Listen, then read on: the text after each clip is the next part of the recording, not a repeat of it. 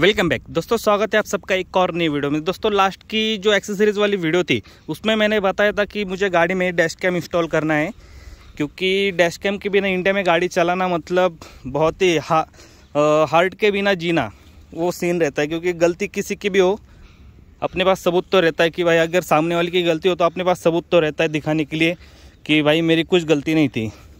तो dash camera तो मैंने मंगवा लिया है दिखाता हूँ कौन सा है वो। ये देखो ये अपना क्यूबो का smart dash cam pro X ये डैश कैमरा मंगवाया मैंने। इंस्टॉलेशन में खुद ही करने वाला था क्योंकि इसमें कुछ उतना है नहीं। लेकिन दिक्कत ये आ रही है। उधर देखो एयरबैग है, ठीक है? इस वजह से मैं कर नहीं रहा हूँ, क्योंकि सेफ्टी के मामले में मैं कॉम्प्रोमाइज़ नहीं करना चाहता। क्योंकि सेफ्टी में कॉम्प्रोमाइज़ करूँगा मतलब अचानक एयरबैग खुल गए तो लपड़ा ही हो जाएगा। उससे बड़े भाई, बाहर जाते हैं, किसी अच्छे टेक्नीशियन से जो मतलब जिन्हें एक्सपीरियंस होगा, उनसे वो काम करवा लेंगे। कि लपड़ा बहुत ऐसे वो एयरबैग अगर खुल गया काम करते करते या फिर काम होने के बाद खुला ही नहीं मतलब समझ रहे हो मेरी बात को? तो लपड़ा चाहिए नहीं अपने को। उससे बढ़िया भाई, जाते बाहर करवा लेते, फिर देखना भी है डैश कैमरा कैसा चल रहा है। और हाँ बता दूँ कि ये सबसे पहले बता देता हूँ कि ये प्रमोशनल वीडियो नहीं है। ये मैंने खुद मेरे पैसे से मंगवाया भाई। ये इसमें कुछ प्रमोशनल वीडियो वगैरह कुछ नहीं है। चलो जाते हैं और देखते हैं डैश कैमरा का दुकान पे जाके क्या सीन है। तो भाई आ चुके डैश कैमरा लगवाने। ये आर्यन मोटर्स पुणे। भाई कर रहे अपना काम।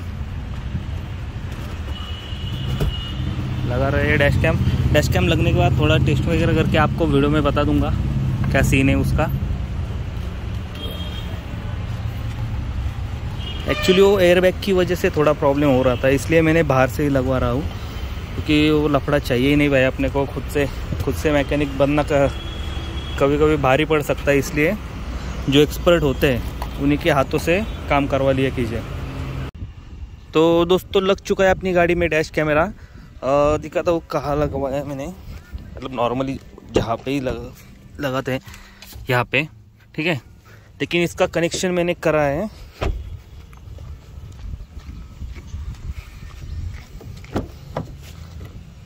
इसका कनेक्शन देख लो। देखो, इधर से इस कर्टन के नीचे से लेकर फिर इसको नहीं खोला मैंने। ये जो एयरबैग का है ना पिलर का ए पिलर पे, इसको नहीं खोला मैंने क्योंकि एयरबैग का वापस सीन हो जाता। उससे बढ़िया भाई, इधर से ऐसा नीचे से लेकर ये रबर बेडिंग है ना, इसको खोल के इधर से, नीचे से फिर, ये देखो इधर थोड़ी वायर दिख रही है?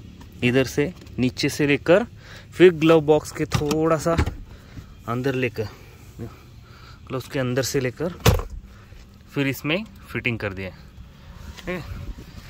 इसमें लगा दिया तो अभी जो डैश कैमरा है, इसकी क्वालिटी जो दिन की और रात की मैं आपको दिखाता हूँ।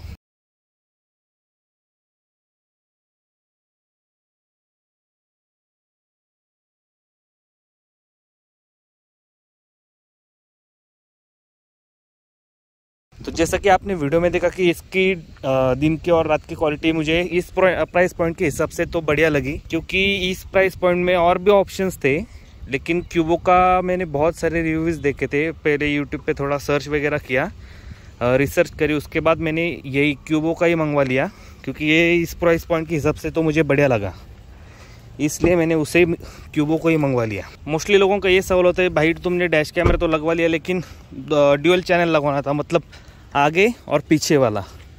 तो मैंने क्यों नहीं लगवाया तो उसका एक एक और रीज़न है। मतलब अभी कुछ लोगों को समझ में नहीं आएगा। तो देखो, ये आगे का डैश कैमरा हो गया, ठीक है? और एक एक सेकेंड और एक इधर पीछे आता है। तो सीन ऐसा था, वो पीछे मतलब ड्यूअल चैनल एक ही कनेक्शन होता है, आगे से लेकर पीछे तक। तो उसके लिए मुझे ये पूरा कर्टन वगैरह उसके नीचे फिर ये निकालना पड़ता, ये भी एयर बैग है इसमें, भाई इसमें भी एयर बैग है, इसको भी खोलना पड़ता। उससे बड़े मैंने ये ये सोचा है कि ऐसा जो सिंगल चैनल का जो मैंने आगे लगाया है, ये जो देखो, ये सिंगल चैनल है ना, जैसा मैंने आगे लगाया है, वैसे एक सिंगल चैनल को और एक मंगवा के इसको पीछे इंस्टॉल कर दूँगा। वो बढ़िया होगा। तो इधर इधर से सीधा, इधर तक ही। मतलब ये देखो ट्वेल्व का पोर्ट है इधर। इसमें से इधर तक कनेक्शन आराम से हो जाएगा। उसका कोई इतना सीन नहीं होगा। इधर से एक कर्टन की नीचे से। अगर आगे से वो मतलब सिंगल कनेक्शन करता मैं तो उसके लिए भाई ये पूरा खोलना पड़ जाता। और कर्टन का कैसा है? देखो थोड़ा सा खींचा वगैरह तो निशान आ जाते हैं। वो निशान चाहिए नहीं थी। फिर वापस बहुत गंदा लगता है भाई। उससे बढ़िया थोड़ा खर्चा कर लो। खर्चा भी क्या मतलब ड्यूअल चैनल मुझे क्यूबो का कुछ तो सात आठ हज़ार में मिल रहा था। सिंगल सिंगल चैनल दो मंगवा लूँगा, सात हज़ार के पड़ जाएँगे। सेम ही है। ज़्यादा खर्चा तो है नहीं। हालाँकि माइक्रो एस कार्ड का जो सीन है, वो दो दो माइक्रो एस कार्ड मंगवाने पड़ेंगे, एक ही नहीं। क्योंकि तो दोनों अलग अलग है तो दोनों के लिए सेपरेट माइक्रो एस कार्ड मंगवाना पड़ेगा। इसके लिए भी मैंने मंगवाया था। सैमसंग का 64 फोर जी का माइक्रो एच कार्ड मैंने मंगवाते मंगवाया था इसके लिए लेकिन उसका सीन ये हुआ वो सपोर्ट ही नहीं कर रहा था इस डैश, डैश कैमरा को। मतलब इस डैश कैमरा में वो एच कार्ड डालने के बाद उसको सपोर्ट ही नहीं कर रहा था। इस वजह से मैंने उससे रिटर्न तो कर दिया। और इसमें अभी सिक्सटीन जी का सोलह जी का मतलब एक मेमोरी कार्ड डाला है। वो शायद आठ दस साल पुराना था जब हम कीपैड फ़ोन यूज़ करते थे ना तब के ज़माने का माइक्रो एच कार्ड इसमें चल गया। लेकिन आज के ज़माने का जो सैमसंग का मैंने मंगवाया था इनकी जो मतलब अमेजोन पे जो मैंने प्रोडक्ट मंगवाया था ये प्रोडक्ट देख रहा था उस, उसकी इमेजेस में वो सैमसंग का एच कार्ड सपोर्टेड दिखा रहा था जब मैंने मंगवाया लेकिन वो सपोर्ट नहीं कर रहा था। इस वजह से उसको रिटर्न कर दिया। फ़िलहाल के लिए चला रहा हूँ इससे काम। अभी वो रिटर्न हो जाने के बाद दूसरे किसी कंपनी का बढ़िया वाले वन ट्वेंटी या फिर फाइव ट्वेल्व जी का मंगवा लूँगा, क्योंकि उसका भी एक सीन है भाई। अपन जो मेमोरी कार्ड लोग बोलते हैं ना, एक बार डैश कैमरा लगवा लो, फिर उसके बाद खर्चा नहीं है डैश कैमरा का, लेकिन उसका भी सीन है। मैं आपको बताता हूँ, देखो। अगर मतलब जो एच कार्ड की रीड एंड राइट की जो प्रोसेस होती है, वो बार बार होती रहती नई फ़ाइल से हो गई तो ओल्ड वाली फ़ाइल डिलीट होगी। नई वाली फ़ाइल से होगी तो ओल्ड वाली डिलीट होगी। ये सब मतलब कंटिन्यू चलता रहता है। जिस वजह से मोस्टली एस डी कार्ड जल्दी खराब हो जाते हैं। मोस्टली क्या हो ही जाते हैं जल्दी। ज़्यादा से ज़्यादा one twenty eight G B का ज़्यादा से ज़्यादा एक साल तक चलेगा, उसके बाद वो भी खराब हो जाएगा। तो वही सोच रहा हूँ, फाइव पाँच सौ बारह जी बी का मंगवा लेता हूँ, वो बढ़िया होगा।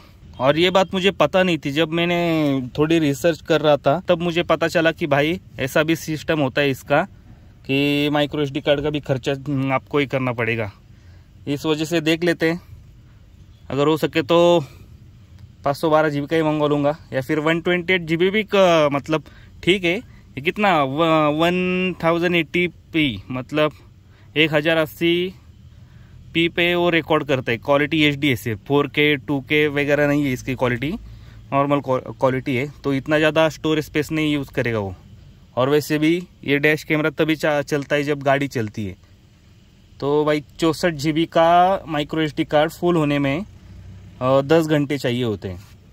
और वन ट्वेंटी एट बीस घंटे फाइव ट्वेल्व तीस घंटे। तो तीस घंटे तक वो एच कार्ड आराम से चल जाएगा।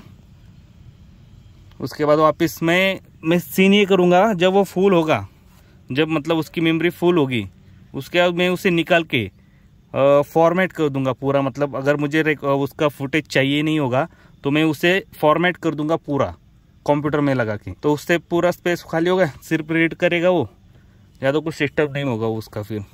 मतलब लोचा नहीं होगा बाद में। क्वालिटी तो मुझे कैमरे की बढ़िया लगी, साढ़े तीन हज़ार रुपीज़ के प्राइस पॉइंट में। इससे बहुत सारे मतलब अलग अलग और एक और बहुत सारे ऑप्शन थे इसके साथ। बाकी कंपनी के, लेकिन इसके रिव्यूज़ मुझे उनसे बेहतर लगे। इसलिए मैंने क्यूबो का ही मंगवा लिया है। अभी देखते इसको एक आध महीने यूज़ करूँगा मैं फिर पीछे वाला डैश कैमरा जो मतलब मैंने आपको बोला कि पीछे भी मुझे लगवाना है, उसको मैं मंगवा लूँगा सिंगल चैनल ही। फिर उसके बाद देखते जो होगा। तो यही था भाई आज की वीडियो में डैश कैमरे का थोड़ा बहुत क्वालिटी आपने तो देख ली है। अगर वीडियो पसंद आई तो वीडियो को लाइक कर दीजिए और चैनल पर नए हो तो चैनल को सब्सक्राइब कर दीजिए। मिलते हैं अगली वीडियो के साथ वापिस। तब तक के लिए बाय